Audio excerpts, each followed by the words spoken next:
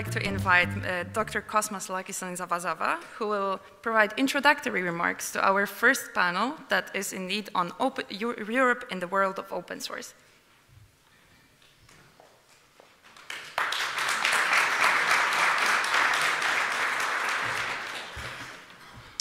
So good morning, ladies and gentlemen. For those who are online, good morning, good afternoon, and good evening. It is a great pleasure to be here with you. I could not miss this great opportunity to be among the engine that drives the world. I come from the International Telecommunication Union, the oldest United Nations organization established in 1865. We have a federal structure, we have a bureau which is responsible for radio communication. When you see a satellite going up, it has been registered with us. Spectrum is our business, standards our business. I head the development sector. So I believe sincerely that uh, impacting people is all about what we do.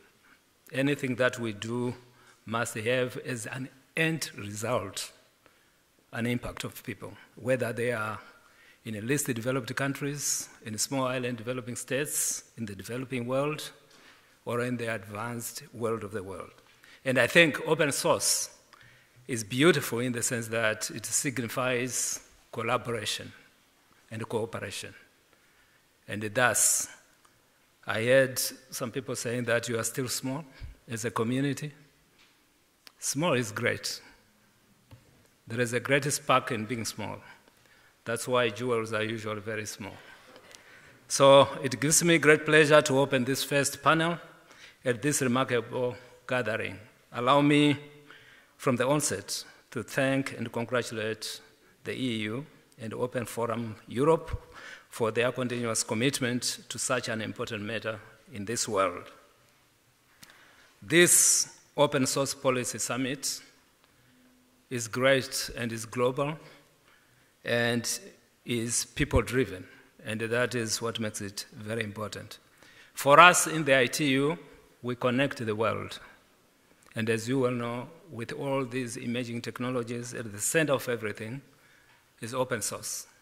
And therefore, we do celebrate. We believe in sustainable digital transformation. We believe in universal, affordable, and meaningful connectivity for all the peoples in the world.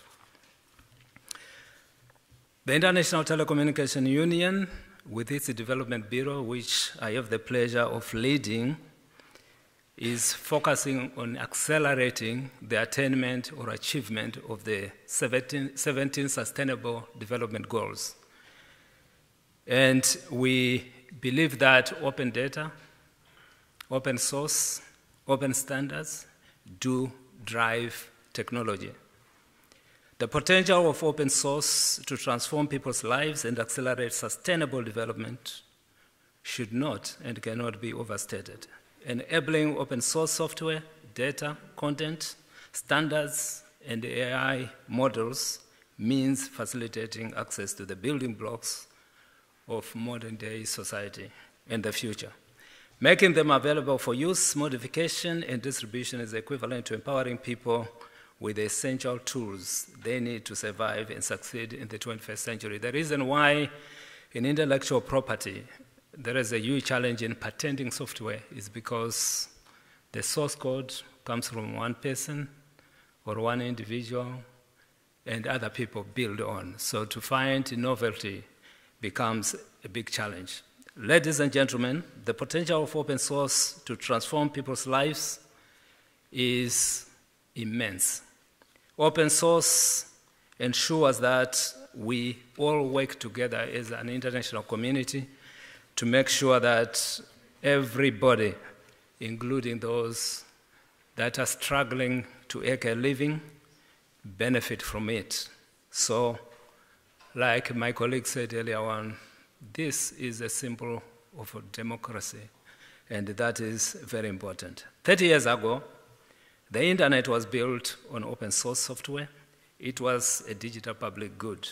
Today, we may recognize that 1.1 billion people from the world's 46 least developed countries pay 20 times more than us in Europe to have access to the internet.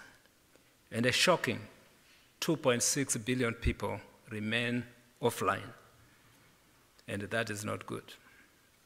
This is why the United Nations Secretary General launched the Roadmap for Digital Cooperation, which identifies digital public goods as instrumental to achieving the Sustainable Development Goals and calls for a global effort to advance and support its creation. Think about this. And this is why it is important within the United Nations, interstate relations, diplomacy, to make sure that we bring technology and digital right at the center. This global effort is being led also by the International Telecommunication Union because our membership is very diverse and we are very unique within the UN family. We have 193 member states, so at the policy level, you know you are covered. We also have regulators in the telecom industry throughout the world, from the FCC, which is the old, oldest regulatory authority, to the South Sudan, which is the youngest regulatory authority. They are our members. But industry too, and private sector, are an integral part of our membership. And the organizations that you represent that are not yet, including startups, small and medium enterprises that are not yet members of the ITU, are welcome. Feel free to join us. Academia, we have a plethora of academic institutions that are part of us. Together with these partners, we catalyze action on norms and standards around digital public goods we conduct research and support stakeholders with the knowledge, tools, and resources to digital public goods. Distinguished participants, one of the greatest challenges in operationalizing open source digital public goods is the lack of capacity, be it technical, institutional, or human, to absorb, develop, and leverage open source. And I will not hit our chest as ITU, but we are big on institutional arrangements and capacity building from individual persons to communities, to countries, to sub-regions, to regions, and globally. Let me take the pleasure and honor of announcing here and now that we have launched a joint open source ecosystem enabler project. And I would like to thank the European Commission and the United Nations Development Program for their great partnership in this extraordinary people impacting initiative. The open source ecosystem enabler project will accelerate the creation of digital public goods globally and help countries develop and strengthen their open source ecosystems by establishing open source program offices throughout the world and providing them with tailored training and technical support. These offices, or OSPOs, will become robust and rely, reliable catalyzers for digitally enabled socioeconomic growth. We aim to co-design this framework with the open source community and first deploy it as a pilot. Too many pilots end up in accidents. So we are going to accelerate making sure that this project is replicated across the globe. Hence, I encourage you to be on the lookout for the open call, and we look forward to admitting you into this massive people-oriented project. I look forward to hearing from the experts represented here at the summit and those who may be speaking virtually, and to learning from your success stories and challenges. Let this discussion be an opportunity for us to identify how to best operationalize open source digital public goods towards advancing society and putting all people on an equal footing. And I thank the timekeeper because she threatened from the beginning that she will be very tough. and she has been very generous with me. And thank you very much again.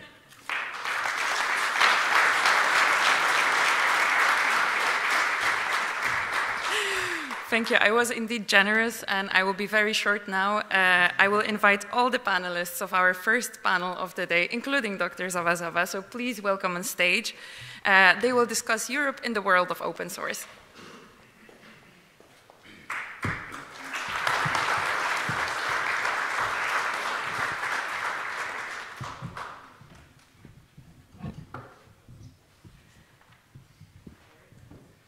Hi, everyone. Uh, nice to see you all. So it's my distinct pleasure to be moderating today's panel. And uh, first, allow me to, I want to start by introducing our panelists.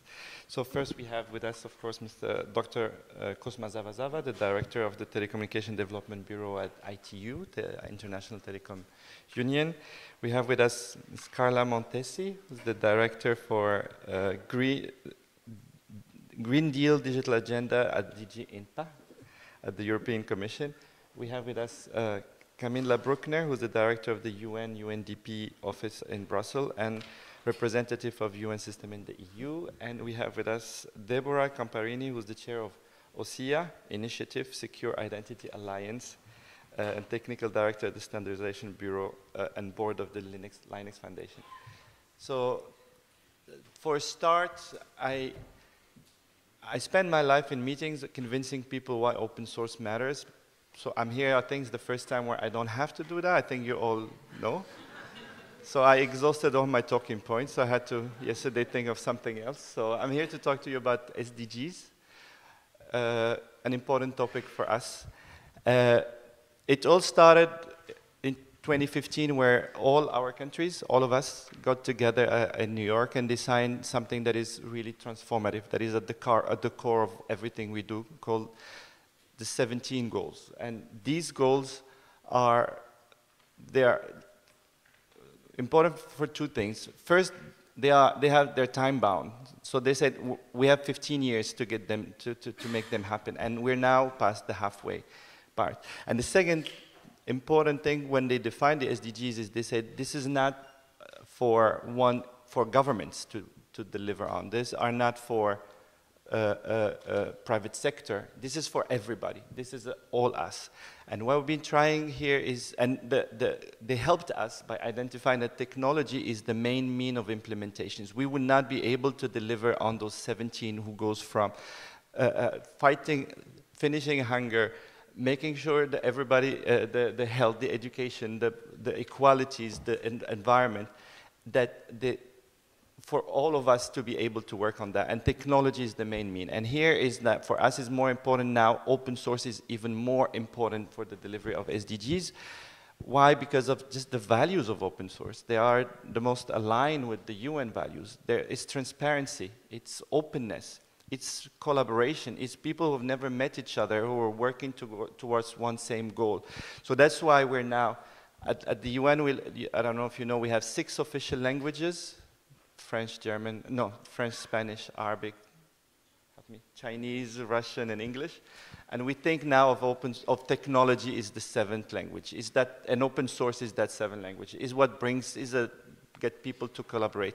And here I have my, my, my open source, my personal open source stories that we launched with the, uh, as, as, as, Mr. Bernardo mentioned, with the EU Digit, we launched the open source software for SDG, which is an initiative we call, hey, we say, hey world, please come help us fix, answer specific SDG, uh, challenges on SDGs. So we started with the first SDG, which is about education, and we said, please, can you help us improve Moodle? And then we have this incredible set of, of, of, of, of, of, of solutions that were delivered from everywhere in the world. And we had a jury who had to find, pick a winner. You would never guess who was the winner. We were all in shock. It was an inspector in the Ministry of Education in Cote d'Ivoire who built this incredible module in the height of COVID, allowing building virtual classes and allowing schools to take place virtually in Cote d'Ivoire. The CEO of Moodle, who was in the event, couldn't believe, and he promised that that module will be integrated uh, in, in future distribution of Moodle. So it is everywhere, and it really is allowing a lot of incredible effect that happened. So uh, now, how to go about that is really important is to make sure that capacity building, as Dr. Zavazava mentioned. We have to build capacity in the world. It's not easy. And we know that in, personally. What, this is what I said. I spend my life convincing people. Building open source within the UN is tough because if you stop 100 people randomly at the UN, you'll have maybe 20% who will hate open source, who will tell you absolutely not. And you'll have maybe 20% who will like it, and there's a lot in between. So there's a lot of, we need to change the culture, we need to convince, we need to tell stories, we need to show examples. And and we know how hard it is to do it internally at the UN, so it is also hard to do it at the government level. So we need to hold the hands, we need to support these government and make sure that, that, that, that they have what it takes to, uh, to jump on that wagon. But also most importantly for us is really is also connecting these OSPOs. I can promise you the OSPO of Germany, I know they're building one. I'm, i can promise you they will have the same problem than the OSPO of Botswana or the OSPO of Morocco. And the OSPO of the city of Paris, I can guarantee you they'll have the same problem than the OSPO of the city of Casablanca. So we need to stop the silos. We need to make sure that these, uh, there are mechanisms where we can connect them. So these are some of the issues that we are looking at and hope, uh, happy to, to, to work to work with everybody here. And just to finish, I just I think the two first speakers talked about it. I want to be the third one to talk about it, just in case you haven't heard it. Is that in July 9th and 10th, we will be organizing the second edition of the OSPO for Good conference. Uh, first one took place last year in New York. It was a big success. We were a smaller group. Now we're coming with much bigger ambition. We want to have four to 500 people. And why? We don't want it to be yet another conference. There are tons of conferences about open source. Is that one we really want to have a lot of developing world there. We want to have the voices that we don't hear usually in open source. We want to have a platform where we can actually engage with them. We want to be that place where we can share successes or stories and do a lot of advocacy, but also to build partnerships, to build net networks. So please mark in your calendar. You can Google it. There's a website went up last night just for today. So you can Google it, OSPO for Good Conference, and we're looking forward to having you all there. With this, let me now turn to first question uh, for my panelists. So Carla, how's uh, Europe facing the challenge of uh, supporting open source software uh, update and growth, especially for public administration and services? And how's Europe aligning with international organizations such as UNDP and such as International Telecom Union? Many thanks and uh, good morning, everyone. Very happy to, to join you uh, at this uh, summit. Uh, important moment of discussing uh, this, this essential subject.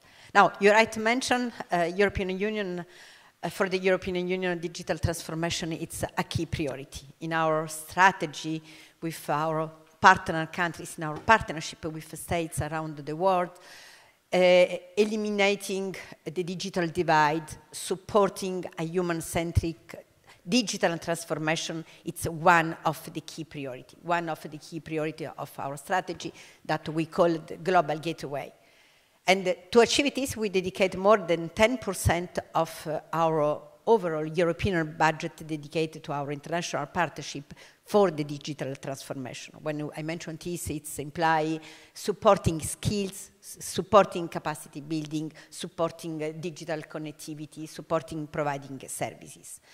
And at the heart of all this, of course, there is uh, the open source. Now, allow me to reiterate one essential point that was already mentioned before, that of course, in order to achieve this digital transformation, when we talk about open sources, some feature, important feature has to be there. And I just repeat the key words that is important for us also that this open source will be, this uh, um, open source software will be public because this is what will allow innovation. It's interoperable, it's accessible, it's safe, and this in include the fact that it has to be inspected.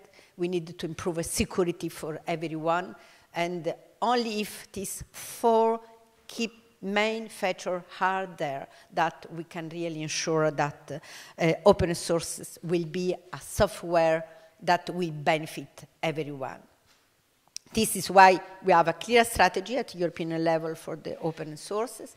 And, uh, and uh, just allow me to give an example that we apply an application at the European Union first that uh, uh, it's uh, just last November our co-legislators have reached an agreement on eIDAS 2.0 regulation in simple words, this allows Europe to have, to build the foundation for a digital identity wallet. This is just one example on which we really want to use this innovative uh, so approach that will rely on open sources has, it was said, as a clear digital uh, public good. So this is important, and of course, we start with Europe, but we would like to work also with our uh, partners around the world on this, on this element. But you ask a second question, and is how we are cooperating together with uh, international organizations as UNDP and ITU, and of course, I mentioned Global Gateway, this strategy.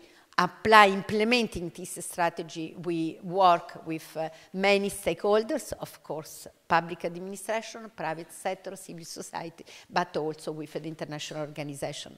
And uh, I can mention two, just two examples of this important partnership because it's very long, it's very big, it's very important. But mentioning two examples, I refer to what the Secretary General already mentioned. Uh, in last uh, March, uh, we at the UN General Secretary Assembly, we have supported the joint SDG Fund digital window with a contribution of 30 million. This is an important contribution. It was just recognized by the Secretary General. And of course, uh, this is done in fully partnership with ITU and the UNDP. One, uh, once again, as was just a reminder, uh, this uh, fund will allow promoting and localizing open source software, working on open data, work on the standards and to ensure interoperability that will be key, the key success element to uh, succeed. But the second example that I wanted to give, it's what we bring all of us here, of course, today. It's the launch of T this new initiative uh, was already uh, recalled. Um, uh, it's the open source, source, software for enabling public service innovation. This will be an important new initiative in full partnership with ITU and UNDP. It was already mentioned what is important in this new initiative to build capacity building. Uh, because we know that uh, the most compelling issue that we have is that, and that governments around the world are facing with the open source technology is building capacity. And this will be the first objective of this new initiative that we are launching today. I stop here because I know that we will have a deeper presentation later, so uh, I stop here for the moment. Thank you. Thank you very much. Very impressive, all the work that you guys are doing at the EU, and congrats for the initiative that we are launching again today. Let me now turn to Deborah. Hi. Uh, Dr. Z Dr. Cosma spoke earlier about the digital public good, the DPGs and uh, the importance for the life of everyone. So now tell us about uh, OSIA, so the Open Secure Identity Alliance, and uh, as an example of key open source technology for digital identities and their interoperability. So if you could tell us more about it and why is it important to offer such a foundational building block for the open source community. Thank you. Have you ever lost your wallet?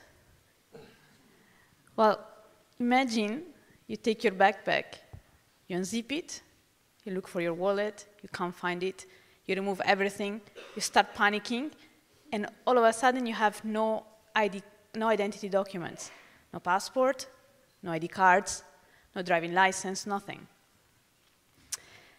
So you can't do much, right? Like, I bet you can't check in your hotel tonight, you can't travel back home tomorrow, you can't access most of healthcare services, this today is a reality for 850 millions of people around the world. And to put it in perspective, uh, in the European citizens are 450 million, so that, that's quite a big problem, right? So these people are also known, also called the invisible. Uh, so those are people that have no means to prove their identity. They have no birth certificate, no passport, no, no ID cards, nothing. Um, they are mostly located in emerging economies. So you might tell me, well, what does it have to do with open source? And, uh, you know, there are other priorities.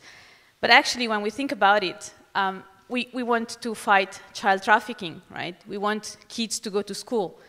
We want people to access microloans or loans. So without identity, you can't do that. And this is why today identity is part of the Sustainable Development Goals. So by 2030, we ought to actually give a legal identity to everybody in the planet. And government, to do that, they need to build digital public infrastructure. So complex infra infrastructure at national scale. And this is where OSIA initiative come in, founded uh, in 2019. So it's a, a collaboration between governments and private sector, so mostly companies specialized in uh, cybersecurity or digital identity, to tackle this challenge together.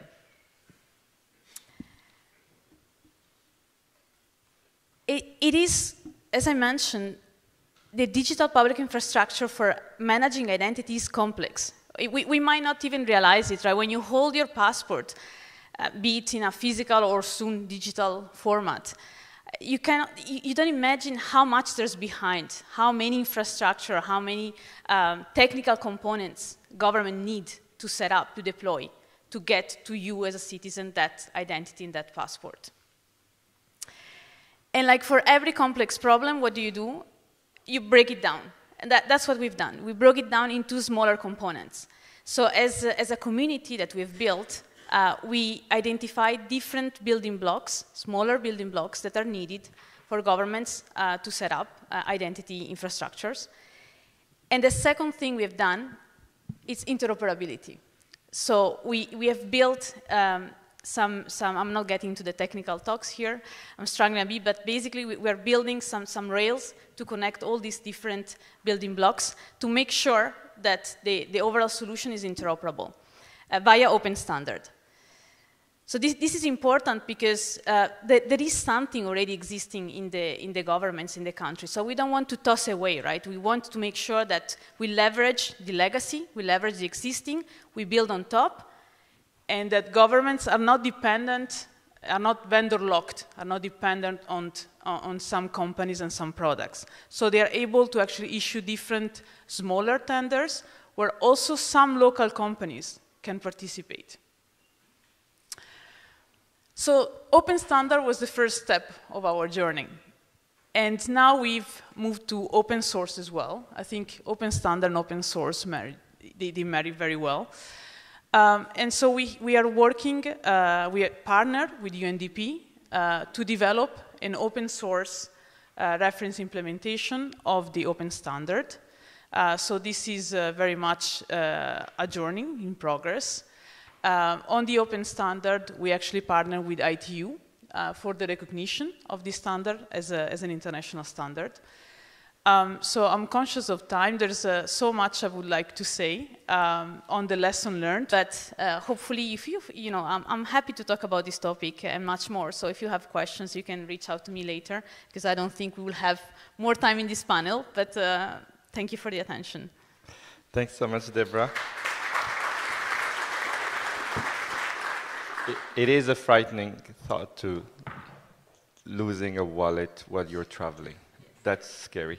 So yeah, thank you for all the work you're doing there. And let me turn to Camilla. Uh, the digital public services that based on open source technologies, or as we know it as digital public goods, uh, are, are, are, can benefit not only developed countries or countries who are developing these tools, but also countries who have from haven't from scratch or not having local capacity as of yet. So how does uh, UNDP foster and support their sustainability and associated partnership across the world?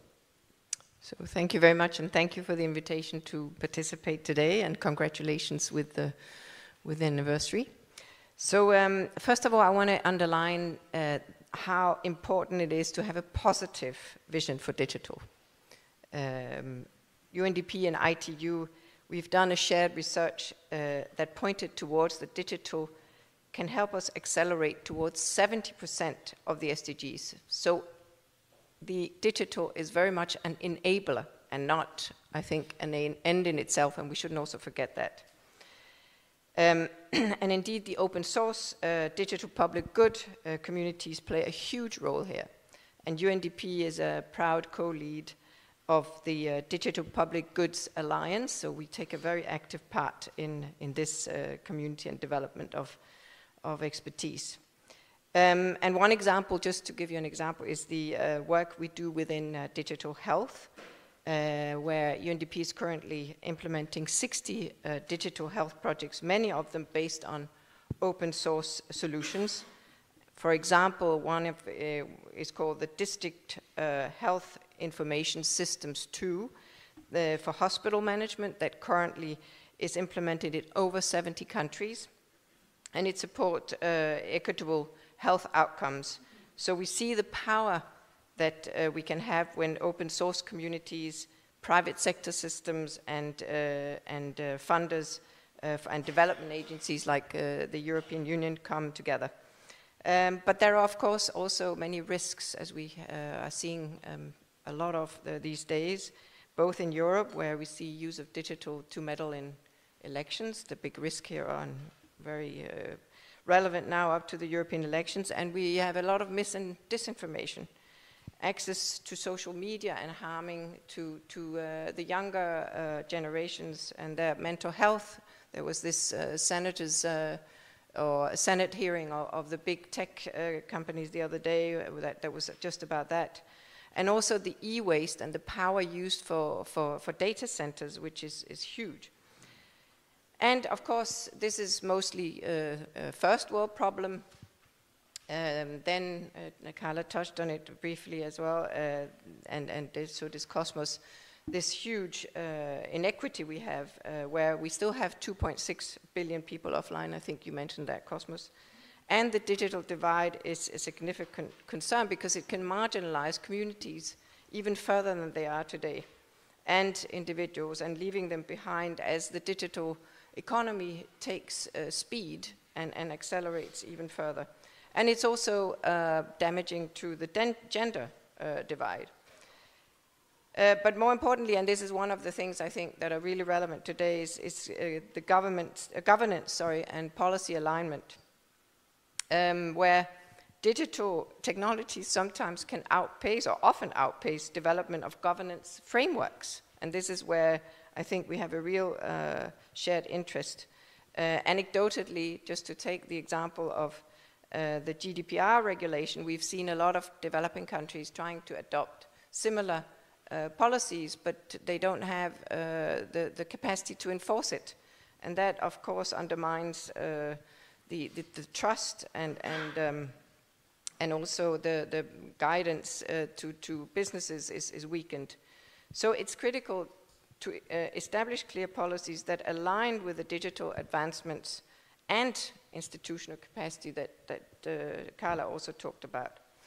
Another issue is, is as I said, trust uh, and the perception that technologies can be used for surveillance or curtailing freedoms.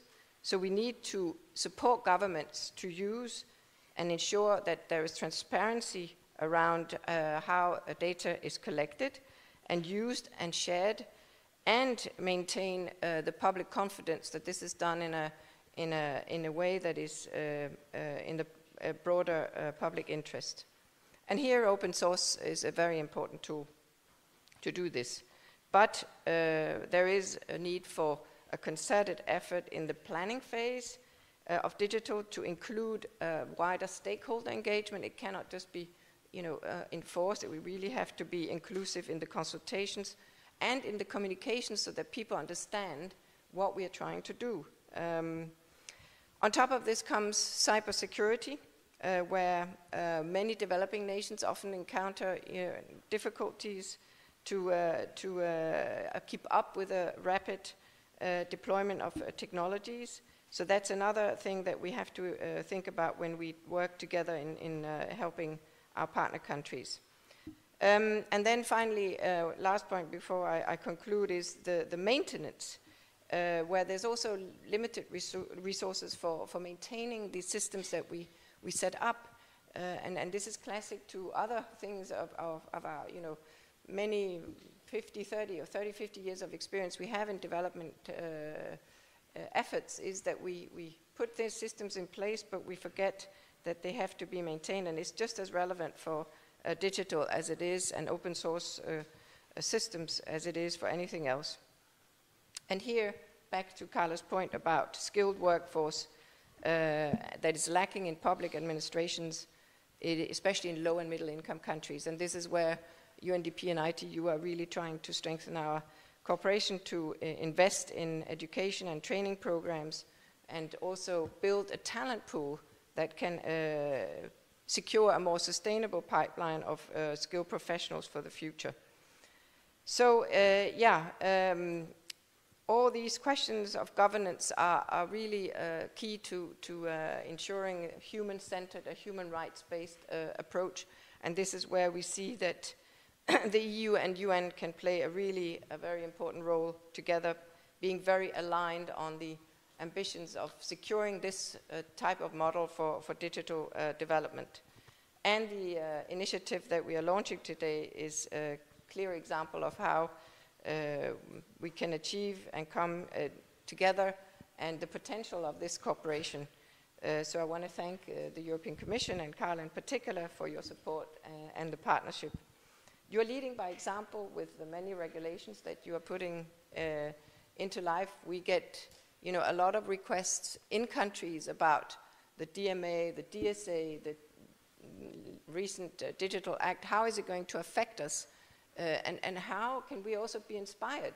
And here we must use this opportunity with this uh, interest to uh, get in there and support these governments and, and scale this support uh, rapidly so that we manifest and, uh, and create a, um, or secure that this model is the one that takes hold and, and not the model that is led by private sector nor the one that is uh, led by more authoritarian regimes. So really this is a very important partnership that we need to nurture and, and develop. Thank you very much.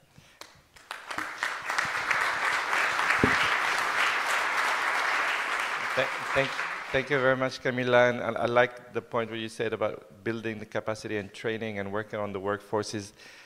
In public administration, it's not in our DNA to work with the outside world. We just don't know how to do that. So this is new skills and new, new, new, new trainings that we have to give to this Uh, uh, new countries, and thank you for the initiatives.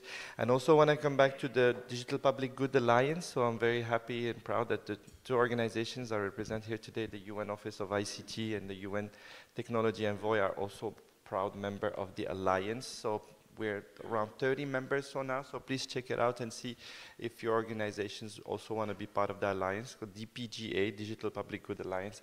For my last question, let me finish where we started with Dr. Zavazava. So uh, how does ITU uh, help uh, build uh, international capacity and mobilize resources uh, in countries who are in need for help with open source technologies? Yeah, th thank you very much. And it's a pleasure again to be on this panel. I want to thank my colleagues who have articulated most of the key points. I would summarize your question probably in three parts. One, uh, we should answer the question why do we have 2.6 billion people in this time the era still being offline? One of the things is what Camilla said cybersecurity, confidence, and security. We know that during the time of COVID, many young women and girls were discouraged from being online because they were harassed and harrowed during that period to the extent that some of it translated itself to offline harassment. And that's not good. And we do prioritize cybersecurity as an important element. That's one point. Second point has to do with affordability. Not everyone can afford the data. When you go to Africa, parts of Asia and the Pacific, you realize what a challenge it is. Then the third component is the lack of digital skills, and that's where capacity building comes in. But in addressing this challenge, ITU will not be able to do it alone, or even UNDP, ITU, or the UN in general.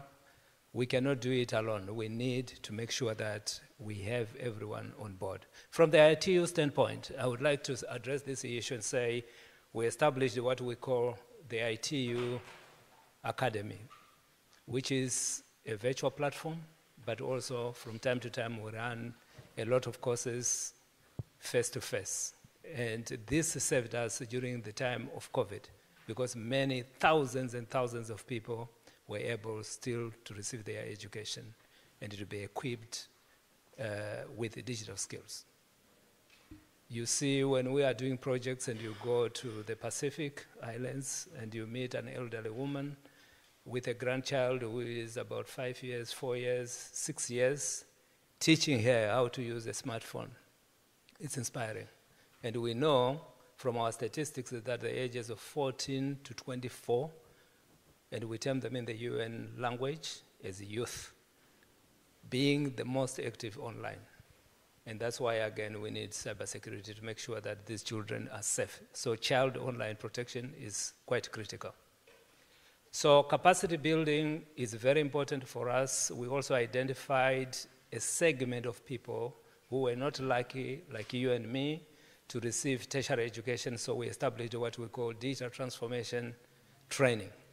And we run this throughout the world. Thousands and thousands of people are benefiting from this. Then we also have what we call academy training centers, where we partner with Cisco, with uh, the Norwegian Development Agency, and we are doing wonders across the world. But all this needs resources, human resources, experts, but it also needs financial resources. And as I always say, money does not grow on trees. So we have to partner together, and I want to recognize the European Commission for their generosity in supporting many, many of our programs. Recently, we signed uh, a joint project on universal, measuring universal uh, coverage, making sure that we know when we talk about connectivity, we are not talking about laptops, we are talking about people. So we must measure the meaningfulness of that connectivity. How can it translate in terms of disasters to saving lives? Uh, dealing with the sea rise, countries like Tuvalu, Maldives that are sinking, etc. So, electronic waste management, space sustainability, etc., etc., and that is very important. So we have been very lucky in the Development Bureau of ITU that over the past nine months we raised about 23 million from partners to implement projects for the benefit of particularly those in the developing world so that they can play catch up. And also, we launched, and you can Google it, what we call the Partner to Connect Alliance.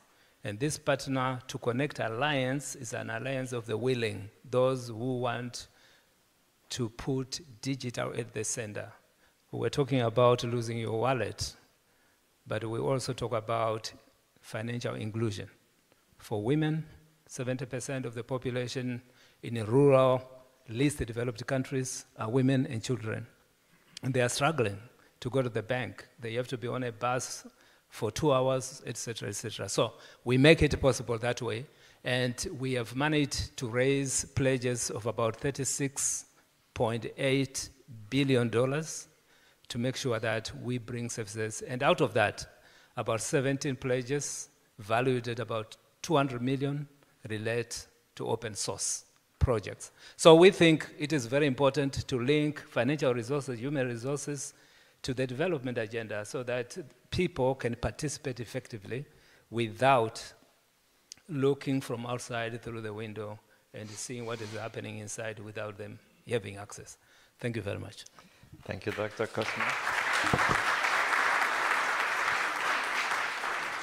very impressive indeed, all the work that ITU is doing. And I've been working in partnership with ITU for the last 10 years, and I've always been amazed about your capacity to reinvent and rebuild.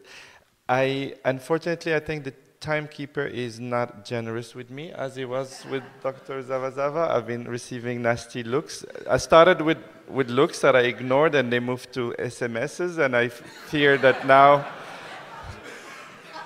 there will be somebody coming and taking the microphone physically. So with this, I just want to thank our speakers.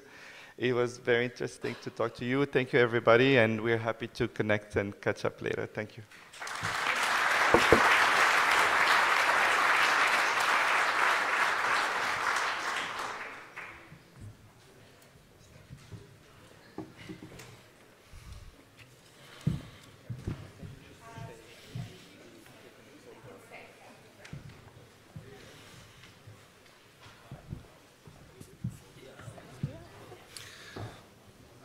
Thank you, moderator. Thank you, the Open Forum Europe.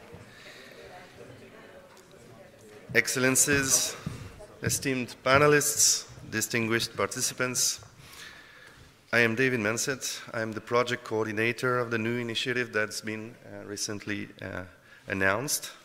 And I would like today, together with my colleague, uh, Benjamin Bertelsen from UNDP, to officially unveil the project Visual Identity during this very nice summit. With the hands at the bottom and the cube at the top, this symbolizes mutual aid in together building our digital capacity thanks to open source. As an international collaboration, OC, this new project, receives funding from the European Commission under the Global Gateway Program for a 42-month global action plan to be carried out by ITU and UNDP.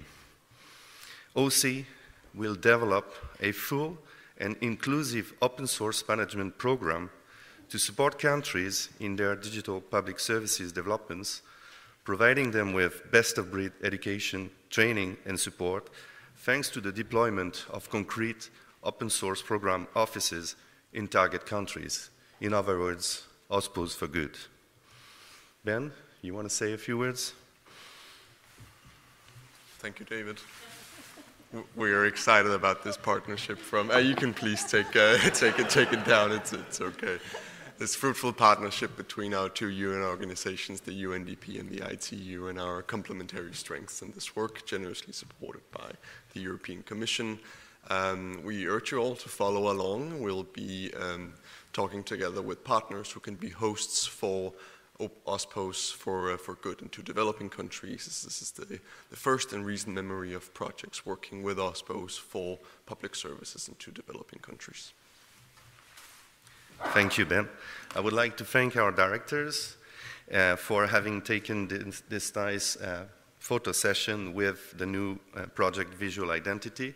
Just for the symbolic, uh, the cube that they were holding is an open source uh, plant pot that we've produced, that we've released, that you can print at any scale. It's recyclable, and it symbolizes growth and capacity. Thank you very much.